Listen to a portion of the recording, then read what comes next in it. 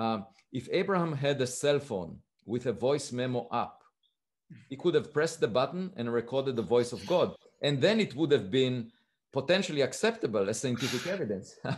but he didn't have a voice memo app, unfortunately. Unfortunately, so, didn't have.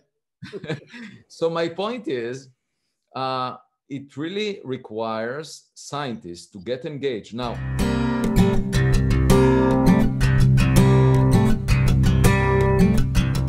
welcome to Starviews.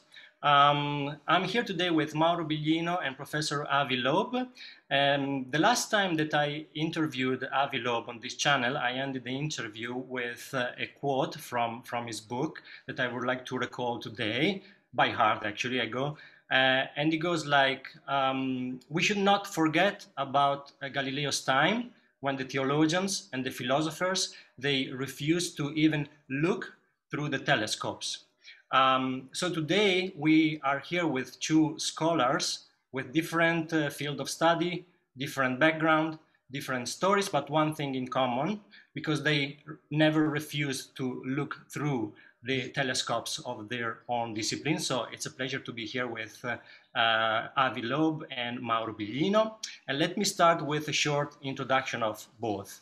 Uh, Mauro Biglino is a best-selling author with uh, Italian publishing house Mondadori. He has published many books, but I would like just to remember, recall two here.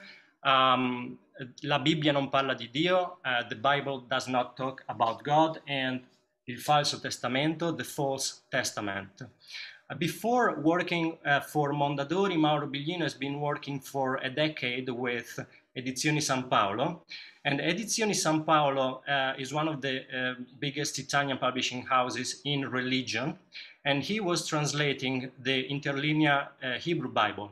Um, eh, so he translated 19 books of the Old Testament. Uh, only 17 of these books were um, published because at a certain point uh, Mauro started to air his own doubts and questions, and let's say what it is like he was censored for his opinions. Um, so it's uh, it's a real pleasure to to be here with uh, uh, Mauro. Mauro, thank you very much for your time today. Thank you, thank you, thank you, thank you to you for the Professor. Thanks, uh, Professor Loeb. Um, was the uh, chair of the astronomy department at Harvard University for nine years until 2020. He also chairs uh, many institutions, including the Black Hole Initiative, also at Harvard University, the Starshot Initiative, which uh, aims at sending um, light sail probes to Proxima Centauri, the, the closest stars um, outside the solar system. Um, in 2012, Time magazine uh, selected Avi Loeb as one of the 25 most influential uh, people in, in space. He is also author of uh, several uh, hundreds of uh, scientific articles, eight books, and is the best-selling author of Extraterrestrial, the first sign of uh, intelligent life beyond Earth, which is also going to be published in Italian, correct, Professor, in 2022, so Italian leadership be ready for this new exciting publication by Professor Avi Loeb. Thank you very much for your time today. Thanks for hosting me. And I guess we could have spoken Hebrew because Mauro is able to read uh, the Old Testament. But I, I wouldn't be able to participate at this point. Anyways, um, so let's start from the very beginning, Professor, because uh, let's talk about extraterrestrial um, and Oumuamua, since it's going to be published. What uh, are we going to find in this book uh, as Italian readers in, uh, soon? Yes, so the book uh, focuses on the first object that was discovered near Earth that came from outside the solar system. Uh, it was found in 2017 by a telescope in Hawaii called Pan-STARRS and uh, given the name Oumuamua, which means a scout in the Hawaiian language. And the simplest uh, assumption to make is that it was a rock that uh, came from another star. And in fact, that's what the astronomy community first thought. But then it didn't look like the objects we have seen within the solar system. It didn't look like a comet. It didn't have gas or dust around it. It had a very extreme shape based on the fact that it, every eight hours it tumbled and the amount of light reflected from it changed by a factor of 10. And moreover, it exhibited a push away from the sun that you don't expect for an asteroid. So it was not a comet and not an asteroid, and it was something else. And I suggested that it may be artificial in origin, and I go into all the details of why in the book Extraterrestrial. But I also discuss um, something else, which is that the scientific community uh, is very reluctant to talk about uh, evidence for extraterrestrial uh, intelligent life. And um, uh, it really uh, uh, is quite unfortunate because the subject appeals to the public, the public funds science, and the scientific community right now is engaged in very speculative ideas that uh, will not be tested empirically in our lifetime, such as um, the multiverse or extra dimensions or the string theory landscape. So it's not as if the mainstream in theoretical physics is simply conservative. There is something else going on. And I think it's the lack of uh, paying attention to evidence when it's uh, not in, uh, either when it's not in agreement with what we expected or if it's not available, it's even more convenient because then you can do mathematical gymnastics and demonstrate that you are smart. And um, I talked about the, the culture in the scientific community. I talk about the implications of finding that we are not the smartest kid on the block. And uh, all of this uh, sort of boiled to a new project that we announced just uh, uh, less than a week ago. And we can talk about it. It's called the Galileo Project because I can see the parallel between my experience, where I have a lot of pushback, a lot of uh, negative remarks and uh, personal remarks uh, by scientists on Twitter. Fortunately, I don't have an account on Twitter, so I, I, I don't really care how many likes I have. Uh, but um, if uh, Galileo was alive today, he would have been canceled on social media. That's obvious. And at the time, uh, the philosophers refused to look through his telescope. And I would think that we would have learned the lesson. But I can tell you that there was an article by a philosopher in Nature Astronomy magazine just a few weeks ago arguing that Oumuamua is not a technological relic based on philosophical arguments. And I asked myself, haven't we learned something? thank you, thank, thank you for the introduction, Professor Loeb. Um, Mauro, uh, in addition to this book from Professor Loeb, there were also uh, many public personalities that came forward, including Barack Obama, talking about UAP, uh, UFOs, and so on, members of the Senate. And also, there was this report from the Pentagon. Um, uh, uh, what do you think of this report of the Pentagon? Do you think is a disappointment or maybe is a turning point? Ma io penso sia veramente un turning point perché rappresenta la chiusura di un'era e l'apertura di un'altra era. Prego. I, I really believe that it's a, a turning point. It's the end of one era and marks the beginning of a new one. È finito il periodo delle domande alle quali venivano date delle risposte troppo facili e molto spesso anche ironiche. It, we've come to the end of a time when answers to these kinds of questions were a little bit too easy and sometimes even ironic.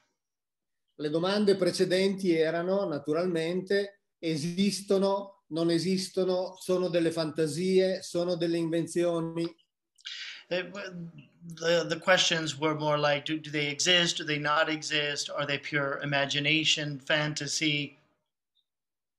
Adesso le domande inevitabili, per fortuna, sono, dato il fatto che esistono, che cosa sono, da dove vengono, chi le ha fatte, chi le ha ideate. So now the questions are more, okay, they exist. so now we want to know What are they? Where do they come from? Who made them? Cioè il riconoscimento dell'esistenza di questi UAP è veramente un fatto storico e per quanto riguarda il mio lavoro ha una valenza straordinaria. As far as I'm concerned, the very fact that there is such a report on this marks a real turning point. And as far as my work in particular is concerned, uh, it, it's an extraordinary event. Perché queste domande nuove che eh, ho detto sono riferibili non soltanto al presente, così come appunto ci ha ben evidenziato il professore, ma per quanto mi riguarda sono a questo punto applicabili al passato, visto che, ma poi magari avremo modo di parlarne in seguito, i popoli di tutta la terra ci hanno parlato di certi fenomeni.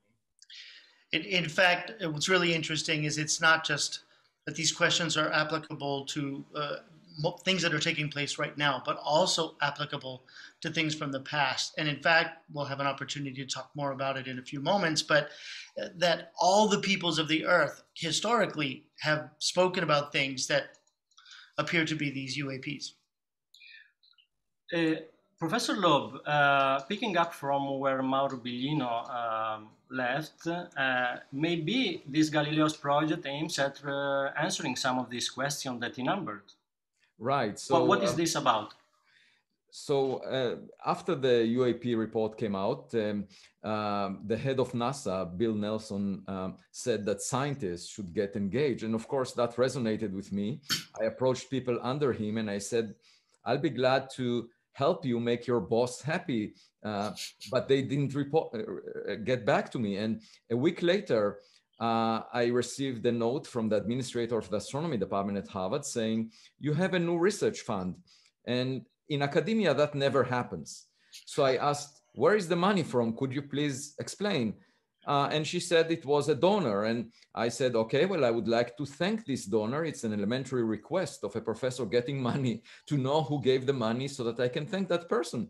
And they took a day before they got back to me. And then another person, a multi billionaire, came to the porch of my home and uh, with questions about my book and uh, was very excited and said that he would like to contribute as well. And within two weeks, I got uh, $1.75 million. And I said, okay, now I don't need to ask uh, anyone. Uh, I can just do it. And uh, the point is, it's not a philosophical question.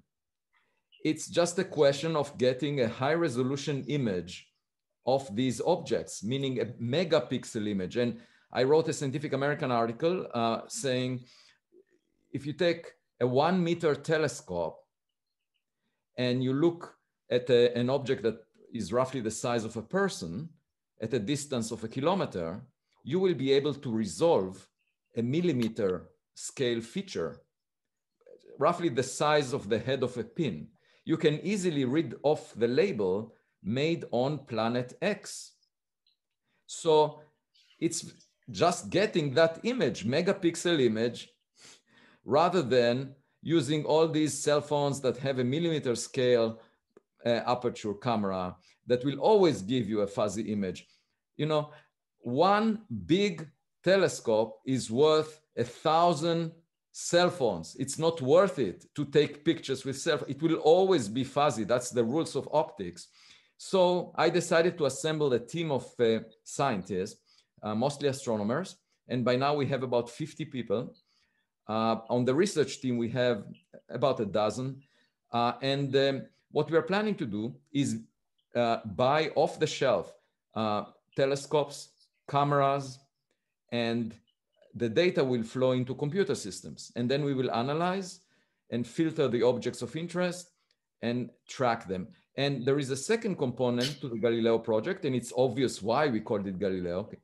Um, the second component is to look at interstellar objects like Oumuamua and uh, find them before they approach Earth, and then send uh, a spacecraft equipped with a camera so that it will take a close-up photograph. Again, I would like to emphasize a picture is worth a thousand words. That's what's usually said. In my case, a picture is worth 66,000 words, the number of words in my book.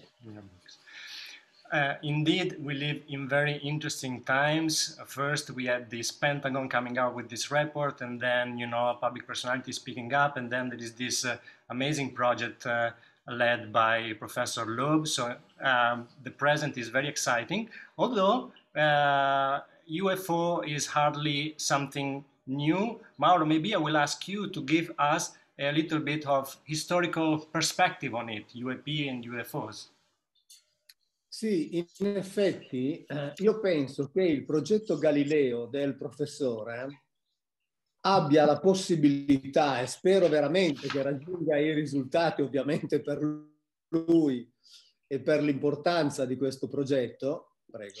Uh, I believe that in fact the work that Professor Loeb is doing is incredibly important, and I, I wish you all the luck in, in getting verifiable results that we can actually study. Perché io ritengo che eh, raggiungendo certi risultati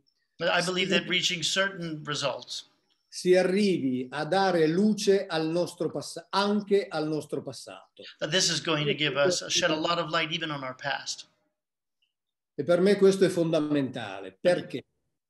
Perché i popoli di tutti i continenti della Terra ci hanno lasciato delle documentazioni scritte o anche delle immagini Uh, because in fact, this is fundamental because all the peoples of the earth have left us documentation, even images, riferibili ai cosiddetti UAP. uh, things that seem to be referring to these so called UAPs. E quindi la cosa interessante è che ora siamo in un periodo in cui diventa lecito, anzi doveroso, porsi queste domande, perché è difficile pensare che su tutto il pianeta Terra tutti abbiano inventato nel passato le stesse cose. This is fundamental for what's happening now. We are able to um, rightfully and and legitimately ask these questions because it, it seems unthinkable that all these various peoples from across history, from across the earth, all came up with the same images and references at the same time and in the same ways. Al di là di tutti gli studiosi che si occupano di questo aspetto relativi al passato, mi ha fatto molto piacere ascoltare un appartenente al congresso americano, un repubblicano, It was particularly interesting for me to hear, uh, in the light of all of these things, a member of the American Congress, a Republican, in fact, dire che la Bibbia di questi UAP è strapiena. that, in fact the Bible uh, is full of references to UAPs.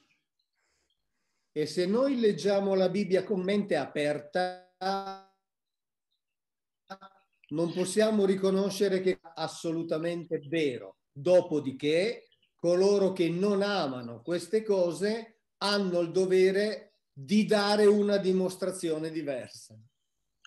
Uh, in fact, we we have to approach this now with uh, an open mind, and those who don't like the results of Camera, that it's the onus is now on them to provide us with another demonstration. Quindi la visione telescopica nel passato è estremamente affascinante. So, especially as applied to uh, the questions of the past, this is really exceptional and very important. D'altra parte il professore ci insegna che guardando lontano nello spazio, in realtà noi stiamo guardando nel passato. E quindi In tra fact- l'altro le due cose In fact, exactly as the professor is is teaching us, as we look further into space, in fact, what we're looking at is our own past. Yeah i should um, also add to that we are looking also at our future because um, if if it was um, another civilization that predated us you know most of the stars formed billions of years before the sun. So just imagine just one technological civilization that existed somewhere else that was more advanced than we are. They could have uh, developed artificial intelligence systems like we have. And uh, we already have self-driving cars and imagine ai systems 10 years from now or 100 years from now uh, and sending them to space. And they they are just like kids that you educate at a young age. You, um, through machine learning you give them the guiding principles for how to approach the world and then you can send them into space. And there is no need for any guidance uh, from whoever sent them because it takes a long time even for light to travel between stars. So uh, the point is these probes uh, uh, equipped with artificial intelligence and perhaps uh, uh, 3D printers that allows them to replicate themselves, they could have sent a billion years ago, and they could have been on all habitable planets in the Milky Way galaxy during that time. And uh, we should not assume anything. So, in a way, if we meet a, a technological piece of equipment, it would represent what we might achieve in our future. It would be something for the future. Uh, but um, as uh, Mauro already said, it could have arrived here already in the past uh, for us. But uh, technologically, it's something that uh, it would take us a long time to develop ourselves. And it's sort of a learning experience because we can learn a lot from it.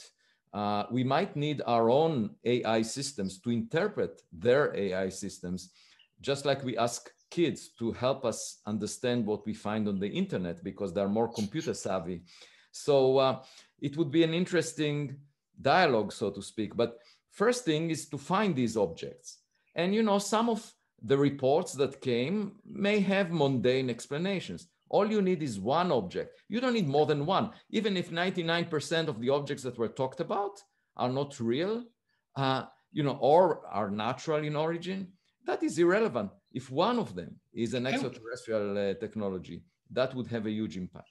Speaking about this, Professor, uh, let's talk a little bit about met methodology here and, and, and sources and data, because Mauro Biglino gave us an historical perspective telling us that UFO is hardly a new thing for humankind and blah, blah, blah. But I guess with this Galileo's project, you are looking for a specific set of data. What, what are you, what are you, uh, what do you expect to collect? Can you tell us something about this? Yeah, so it's just like a fishing expedition, meaning you throw the hook and you don't know what kind of fish you will find. Now, if we see a bird, we say that's not interesting. If we see an airplane, not interesting. If it's a drone, also not interesting. If it's something that has a label made in China, not interesting. For me, it's completely boring. For the national security people, it's amazingly interesting. That's what they want to do for a living. I don't care about made in China things. I really don't care. Uh, so if you basically exclude all of these and you also exclude some atmospheric effect because that could also happen in the atmosphere. You can have a lightning, you can have some, you can have a meteor coming in. If you exclude these natural objects or, or effects, whatever remains is of great interest to me. Okay. so I don't want to say what fish I will find. I just want see. to say what, what fish I don't want to get.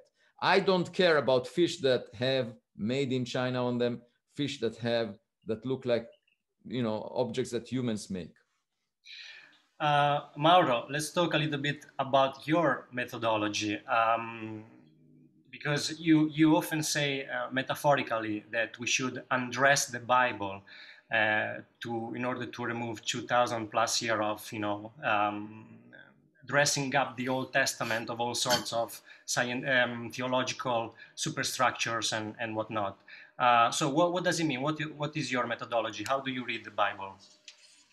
Io penso che quando si parla al pubblico si abbia il dovere di essere onesti e chiari. I think when talking with the public, we have uh, the responsibility to be direct and clear. Così il pubblico ha la possibilità di scegliere se ascoltare ciò che dici oppure no.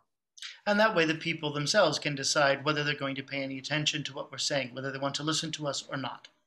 Così io dal 2010 ho dichiarato espressamente il mio metodo. So since uh, 2010, I've been quite clear about my method. Che consiste in questo. Assumere per vero ciò che è scritto nei testi antichi. First of all, it starts with the idea that I assume that what is written is true. ciò che è scritto letteralmente, perché i miei contratti con la casa editrice cattolica prevedevano che io traducessi letteralmente l'ebraico masoretico. In fact, that's what I was expected to do by the publishing house I was working with, that I translate directly and literally exactly what was written in the Old Testament. Pertanto io ho sempre detto al pubblico e continuo a ripetere io non so se è vero ciò che hanno scritto, ma ciò che hanno scritto è questo. So my approach to it has been very specific, very consistent. I said it then and I continue to say it now. I don't know if what they wrote is true or not, but this is what they wrote. Ed è questo che mi interessa che le persone sappiano. Ed è per questo finisco, che cerco di spogliare la Bibbia di tutto ciò che le è stato messo sopra per coprirla. So, what I've tried to do is take apart everything that has been dressed up on top of it so that I can reveal what was actually written. E il mio metodo poi ovviamente consiste nello stare attento non soltanto al significato della singola parola, So, my method eh, is paying attention not just to what the, the meaning of each single word is, ma all'intero contesto nel quale quella parola è inserita. but in the entire context in which that word has been placed. E poi comparare ciò che c'è scritto nella Bibbia con ciò che c'è scritto negli antichi testi di altre importanti e antiche religioni. and then to make uh, a work of comparison between what is written in what we call the Old Testament and what is written in other ancient texts from other cultures. Ed è di qui che vengono fuori le, non le chiamo scoperte perché io non ho scoperto nulla, vengono fuori le informazioni veramente più interessanti. And this is exactly where we find this really interesting information. I won't call them discoveries because I didn't discover them. They're there. That's the information that we find most interesting in that work of comparison. Questo è il mio metodo. This is my method. Uh, this is a method uh, that created a lot of problems to Mauro Biglino. but but talking about the scientific community, Can I, before we get to the community, yes, yes, comment on that method? Um, so, you know, in the courtroom, um, eyewitness testimonies that are corroborating can put a person in jail. That's acceptable.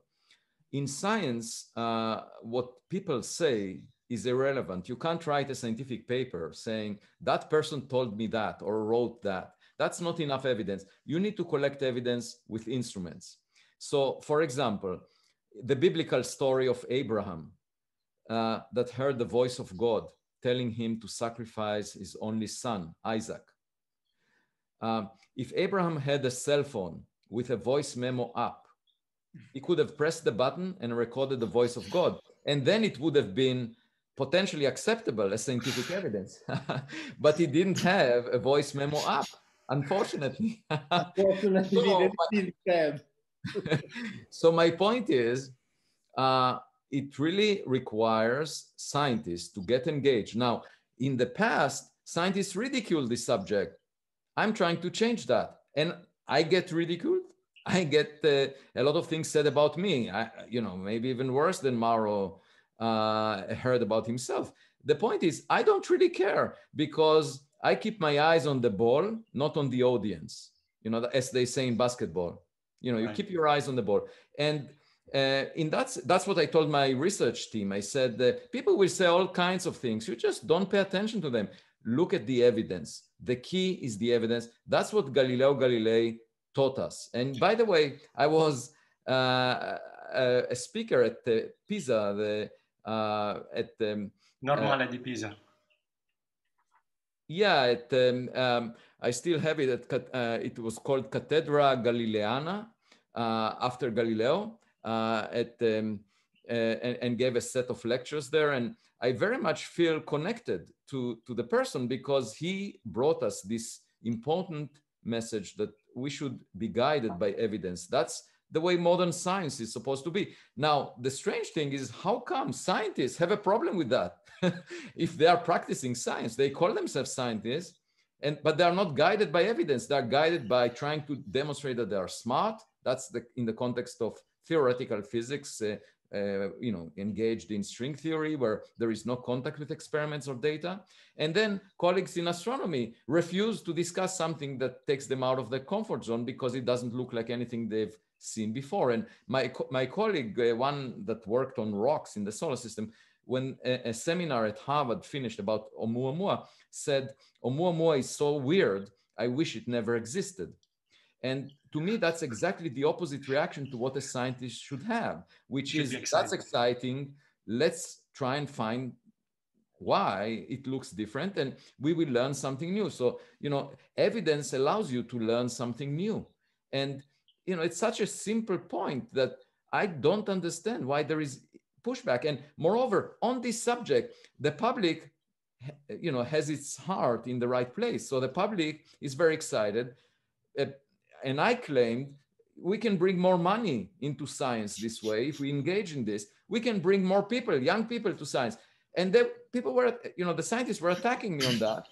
And over the past week i got $2 million i didn't take it from the national science foundation i didn't take it from any other scientific project i got it from people excited by the vision and I got thousands of emails since Monday when we announced it over a few days. I got thousands of emails of people being extremely excited about the project, willing to dedicate time and effort and, and money to the project, which, uh, you know, illustrates my point. I rest my case.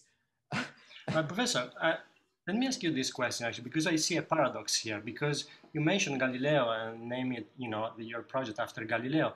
But Galileo, despite the fact that he brought some scientific evidence, he spent years in jail, in jail, like house arrest. House arrest. And the still the theologians, uh, scientists of the time, the philosophers refused to accept that scientific evidence. So aren't you afraid that even if you find some uh, evidence, scientific evidence, the of ET uh, life, that they would not accept your finding and still censor you and, and silence you or try to?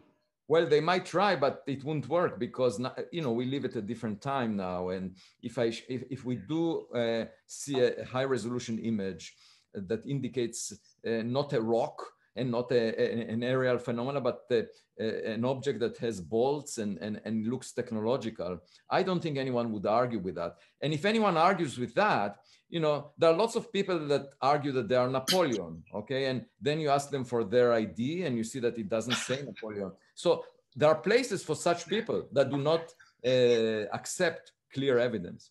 Okay. Mauro, what was your relationship with, with the scientific community around your work? Did, you, they accept your reading? Ma allora, io ho, eh, diciamo, diverse eh, persone, eh, diversi studiosi ovviamente relativi alla mia materia, che di fatto confermano le cose che io dico. Penso all'incontro, le cose che io dico in relazione alla Bibbia, quindi capisco bene il discorso del professore che da scienziato ovviamente deve vedere delle evidenze. Purtroppo con i testi storici e there, soprattutto there are... con i storici antichi questo è più difficile. There are a, a, lot of people who work in the fields that are, you know, relative to my own, who in fact confirm an awful lot of what I'm looking at. They, they see it there as well and are willing to talk about it. On the other hand, uh, whether we're talking about uh, rather older generation or, or, or older ways of thinking for historians and even politicians, it becomes much more difficult. Penso per esempio al teologo Armin Kreiner, docente alla Facoltà Cattolica di Monaco di Baviera.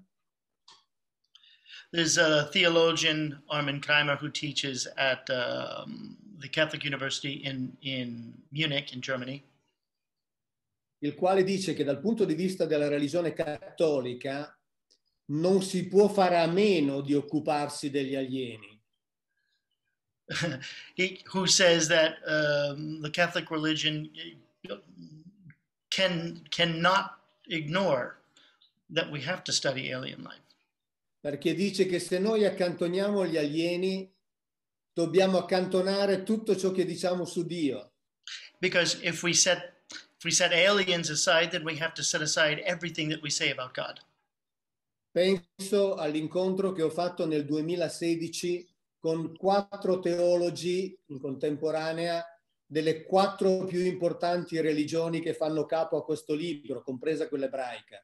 So in 2016, uh, I had a conference with four other theologians simultaneously, uh, some of the most important theologians of these four most important religions, uh, including the Jewish religion. E da quell'incontro durato sei ore eh, eh, sono emerse tutta una serie di concetti che sono quelli che io esprimo nei miei libri. And out of that uh, six hours that we spent together, some of the most important concepts that I talk about in my books came out of that. Penso ai tre ingegneri aerospaziali che ho coinvolto in uno dei miei libri questo qui, Sì. i quali hanno scritto decine di pagine proprio a partire dalla Bibbia. So three uh, astro engineers, in fact, that I uh, got involved in conversations with with this particular with this particular book, uh, based on conversations uh, founded in the Bible. Penso per esempio alla teologa Ellen Van Wolde, di, di- di, eh, docente nei Paesi Bassi, la quale esclude che nella Bibbia ci sia la creazione. And this is a particular um, academic from the, the, the Netherlands who, even in the the recounting of the Bible, excludes the very concept of creation. E penso al professor Mark Smith eh, del seminario teologico di Princeton, il quale ha fatto una ricostruzione nella quale, nella ricostruzione ovviamente della religione biblica, nella quale io mi riconosco totalmente. I, I'm also thinking of Professor Mark Smith of Princeton uh, Theological Seminary, and in his writings, I find myself completely comfortable and of one accord.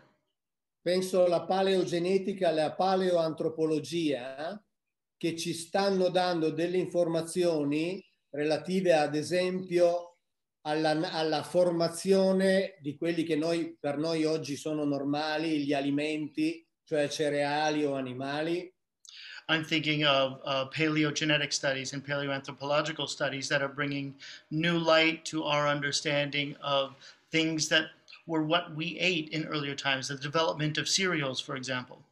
la cui origine loro stessi scrivono non è facilmente spiegabile in termini di semplici mutazioni genetiche naturali, In fact, the genesis of such things, even they say, is not at all easy to explain in simple terms of genetic mutation.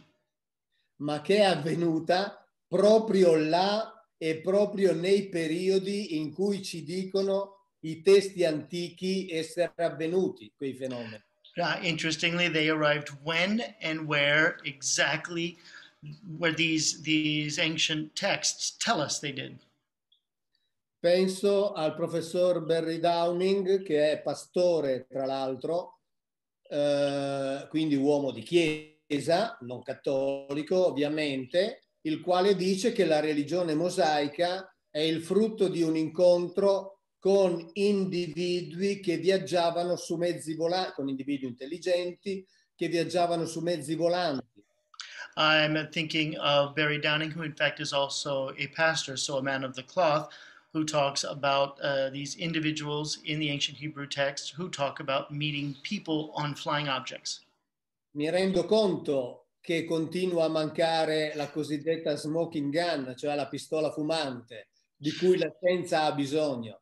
I, I realize that we're missing this sort of so-called smoking gun, the, the, the clear evidence. Però se non si apre una via di ricerca, di sicuro non la si troverà mai. However, if we don't open some way of research, if we don't open a path for questioning, we're never going to find anything. Mi fermo qui. This is why we are all excited about this Galileo's project uh, because all, all- hopefully it will bring uh, some answers to our questions. I should, Professor. uh, uh, Davide, I should say Yes. one that uh, I approach this problem uh, in a very complementary way to the way Mauro described. Um, I approach it like a kid. Uh, when you tell a kid what the truth is, the kid says, I don't want to listen to you. I will find it out myself. So the kid goes out to the world, gets bruised, sometimes makes the wrong uh, moves, but learns something new. And sometimes the kid learns something the adult doesn't know. And, uh, you know, science for me is the privilege of being able to maintain my childhood curiosity, meaning there were all these reports in the past. I don't want to look at classified information whatsoever that the government has because that will uh, limit my freedom. I don't want to look at eyewitness testimonies from 50 years ago. Believe me, I get a lot of text messages on my cell phone from people that saw things. I don't want to look at ancient texts. All I want is to uh, collect new evidence. So science is about reproducible results. So I want to use instruments that are state of the art. We now have telescopes and instruments that are far better than we had before and collect evidence that will show without a doubt that there is something unusual going on. Okay.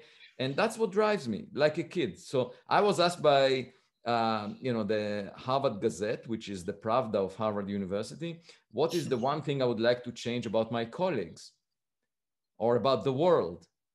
And I said, the one thing I would like to change about my colleagues is I would like them to behave more like kids. They should not pretend that we know more than we actually know. Professor, is it possible to, you already said that the government is not going to be involved in this because you want to keep your hands free. Uh, so you're supported by private donations, uh, that is my understanding. So is it possible to participate and how? Yes. Um, well, first, if um, uh, anyone um, I, I, should say the, the current funding allows us to buy of all the 10 telescope systems. That's not enough. We need a factor of 10 more. I mean, we will be able to demonstrate that we get interesting data, but if we wanted to do a comprehensive study, we need at least uh, 100 telescopes uh, distributed throughout the world based on estimates that we've made. And uh, so we need 10 times more funding, more than $10 million or, or so. And um, if anyone is interested in contributing, if the contribution is more than 50,000, then um, just send me an email and I can guide the person uh, how to proceed. But if it's uh, a matter of crowdfunding where people have small donations, we're trying to establish a mechanism for that right now because I was approached by a lot of people that are willing to make uh, small donations and uh, they may add, add up to something quite big actually.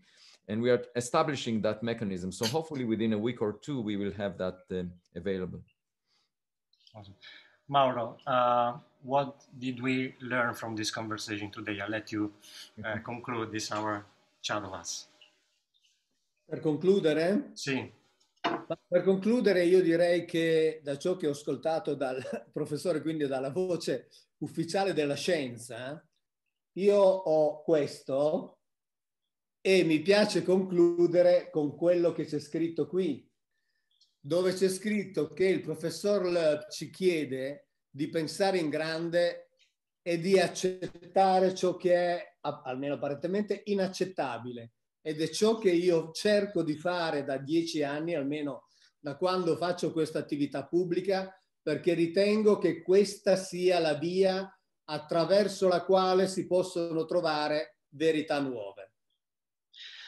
that what I've tried to do uh, for all this time, I'm going to conclude with the words of Professor Loeb think big and accept the unacceptable.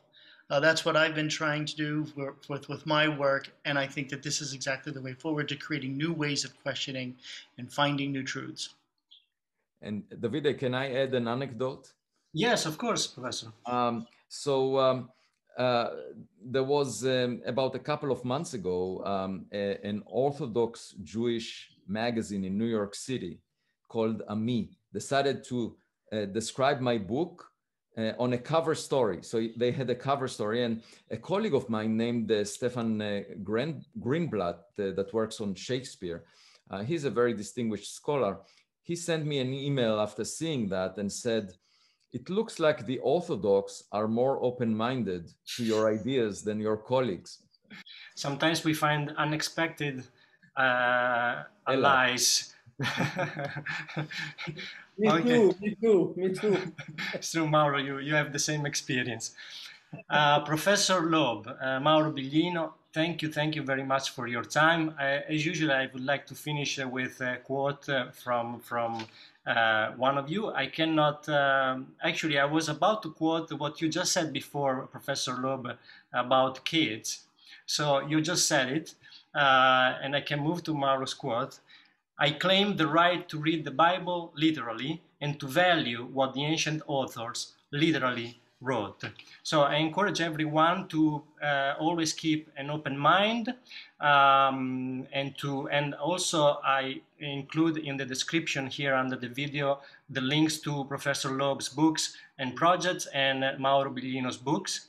Um, thank you very much for listening. Uh, please like, share and subscribe Uh, and to the next. Bye-bye. Thank you. Thank you. Thank you to all so much. Thank you so much. you.